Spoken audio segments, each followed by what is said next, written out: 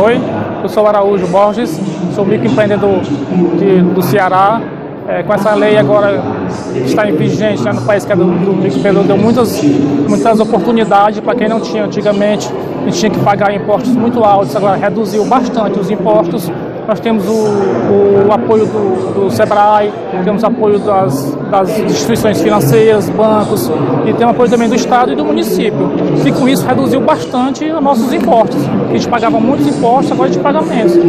A, a facilidade de comercializar ficou bem melhor.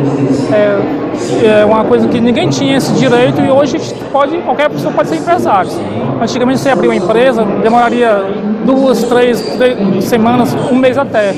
Hoje, em cinco minutos, se formaliza, você pode alterar seus dados da empresa, pode dar baixa também a hora que quiser. É rapidinho você faz isso. Isso é uma grande virtude, é um grande ganho para nós empresários, nossa classe empreendedora, né, que, é, que, que sofria muito com esse, com, com peso tributário. Hoje já melhorou bastante. Já pode ter uma boa uma boa gama de, de, de, de diversidade, de, de mudar de setor com facilidade, sem muitas burocracias.